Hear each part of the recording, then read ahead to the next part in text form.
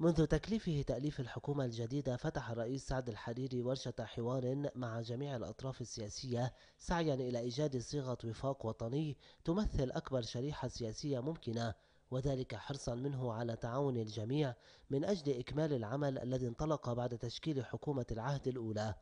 عراقيل وضعت أمام الرئيس المكلف ومحاولات للانقضاض على صلاحيات رئاسة مجلس الوزراء الدستورية واتهامات بالمماطلة تبدأ ولا تنتهي.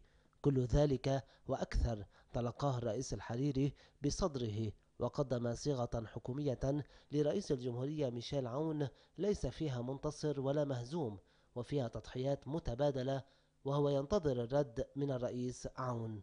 اليوم الرئيس المكلف عمل آه طلع طلع تشكيلة كانوا عم بيقولوا قبل إنه مفروض يطلع تشكيلة. طيب طلع اقتراح تشكيلة خلينا نسميها.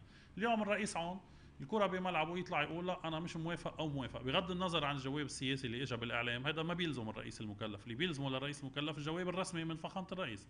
على فخامة الرئيس اليوم يقول له للرئيس المكلف أنا هيدي التشكيلة مش موافق عليها للأسباب التالية بتمنى عليك إذا كان في إمكانية يتعدل هون أو هون أو هون. هذا شيء طبعا كمان بيرجع للرئيس المكلف لأنه هذه شغلة توافقية ما بين الاثنين اللي عم بيوقعوا على المرسوم. هلا اليوم الرئيس الحريري بانتظار جواب الرئيس عون. من المعروف أن نجاح أو فشل العهود الرئاسية مرتبط بنجاح الحكومات المشكلة فيها إذ أن الحكومات تمثل الدينامو للعمل التنفيذي وحتى تشريعات مجلس النواب المالية وغيرها بحاجة إلى حكومة فاعلة.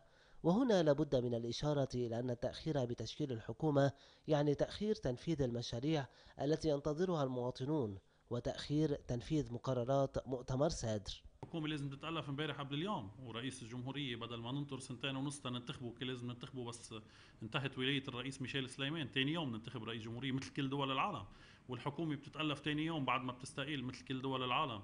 ومجلس النواب كل أربع سنين بنعمل انتخابات مش من مدة أربع خمس سنين تنرجع نتفق على قانون انتخابات. إذا بدنا نحكي بهذا المنطق البلد كله ثغرات. مجلس نواب تسكر سنتين ونص. آه، بلد معطل سبع ثمان سنين من أصل آه، من أصل 13 سنة. هذا شيء طبيعي منه صحي. إذا بنشوف التعطيل اللي صار وإذا بنشوف كل حكومة تتعطل كرمال نوزر فلان أو فليتين حكومات بقيت 11 شهر وحكومات بقيت تسعة شهور.